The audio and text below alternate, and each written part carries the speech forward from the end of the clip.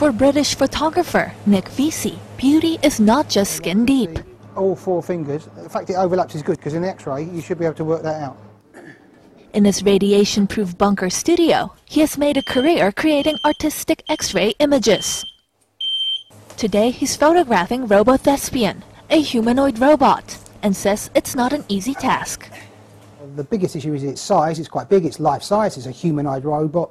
So as you can see, the image on the film, the size of the head is the same size as a human head. So we need lots of films just to physically cover the body. Many prints and several exposures later, the full inner beauty of the robot is revealed on film.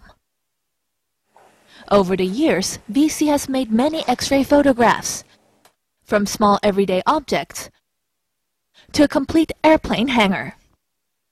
Because of the severe radiation, Veasey can only work with inanimate objects. To depict humans, he uses skeletons. He says he chooses his subjects carefully, with the goal of opening people's eyes to the things beyond human perception. What I want X-ray to do is to excite people and to make them appreciate the world that surrounds them in a new way. Veasey's thought-provoking body of work will be on display in the UK and Canada later this year.